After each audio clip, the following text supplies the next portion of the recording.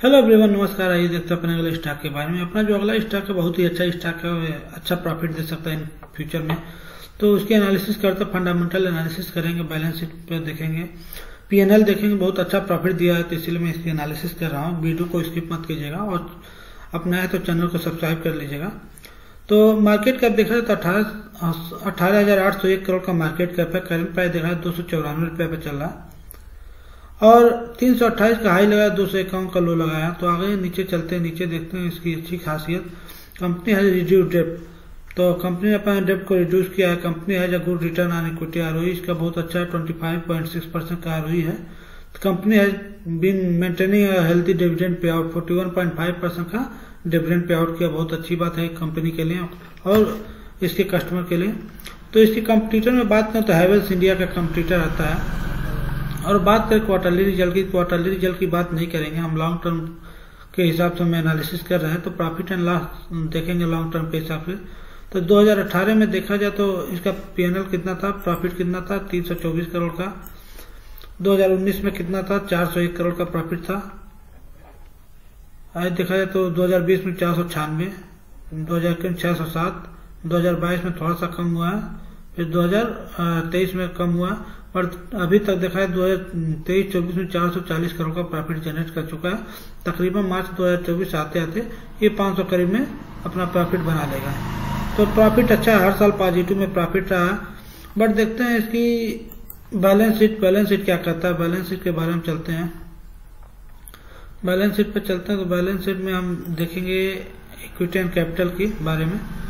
तो equity capital में देखा है तो एक सौ पच्चीस करोड़ का दो हज़ार दो हज़ार बारह में दो हज़ार अठारह में इक्विटी कैपिटल था दो हज़ार उन्नीस में एक सौ पच्चीस रहा सेम रहा दो हज़ार बीस में दो हज़ार इक्कीस में एक सौ छब्बीस हुआ दो हज़ार बाईस में एक सौ सत्ताईस हुआ दो हज़ार तेईस में भी एक सौ सत्ताईस दो हज़ार तेईस चौबीस में देखा जाए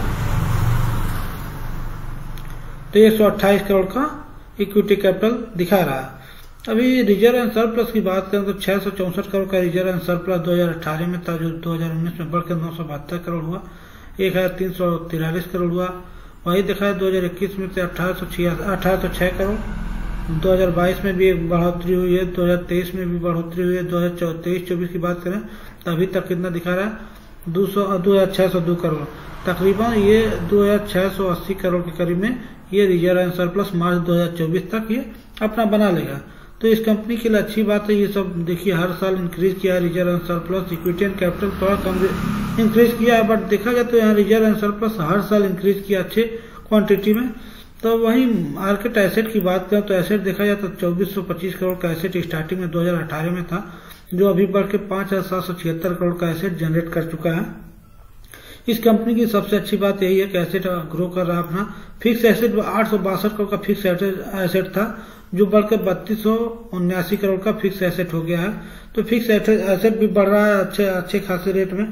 तो कंपनी मुनाफा देगी प्रॉफिट देगी फ्यूचर में चल के। तो आइए चलते यहाँ शेयर होल्डिंग पैटर्न की बात कर लेते हैं एक बार।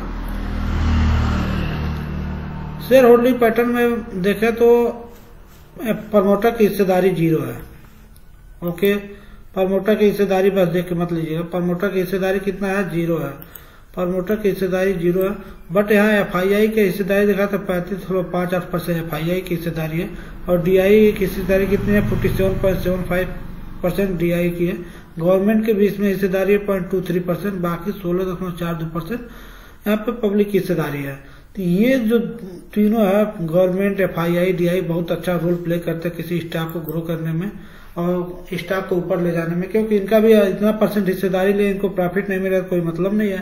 तो इसमें आप जैसे इनको प्रॉफिट मिला, सौ परसेंट दो सौ परसेंट प्रॉफिट मिलेगा तो ये अपना एग्जिट कर लेते हैं। तो शेयर अच्छा फ्यूचर में चल के अच्छा जाएगा। तो चार्ट के एनालिसिस हम बाद में करें, कभी बोले अच्छा चार्ट के एनालिसिस भी कर लेते हैं, कोई दिक्कत नहीं। तो चार्ट पे चलते हैं, चार्ट पे चलने से पहले प्लीज़ चैनल को सब्सक्राइब कर लीजिएगा। चार्ट में देखा तो चार्ट पे हम डेली टाइम फ्रेम पर बात नहीं करेंगे। बहुत लंबे समय से हम वीकली टाइम फ्रेम पे बात करेंगे। ये ट्रेंड लाइन इसी का बार बार रेजिस्टेंस लेके नीचे आ रहा। बट यहाँ पे देखा जाए तभी ये ऊपर जाने की संभावना में है, क्योंकि यहाँ पे देखा है हर बार अपने लो को ब्रेक करके नीचे की तरफ़ आया है। यहाँ पे लो ब्रेक किया, फिर यहाँ पे आया अब बट ये लो यहाँ पे लो ये अपने, कोई भी लो अपने प्रीवियस लो को ब्रेक नहीं किया है तो ये ट्रेंड लाइन रहा ऊपर, नीचे से भी जा रहा है सपोर्ट लेके ऊपर जा रहा है। बट इसके ऊपर जाके क्लोजिंग करता है और ऊपर जाता है, इस रेंज के ऊपर 200 320 के ऊपर जाता है या ये, जो भी है इसका हाई इसके ऊपर जाता है तो आप इसमें एंट्री बना सकते हैं। फ़र्स्ट टारगेट आपका 400 रहेगा, और सेकेंड टारगेट आप रखिए चार सौ अस्सी का थर्ड टारगेट आप 508 का रखिए 510 या 508 का रखिए। तो अच्छा खासा प्रॉफिट आपको देखने को मिल सकता है इसमें। तो मिलता है अगला वीडियो में। प्लीज़ चैनल को सब्सक्राइब कर दे। धन्यवाद।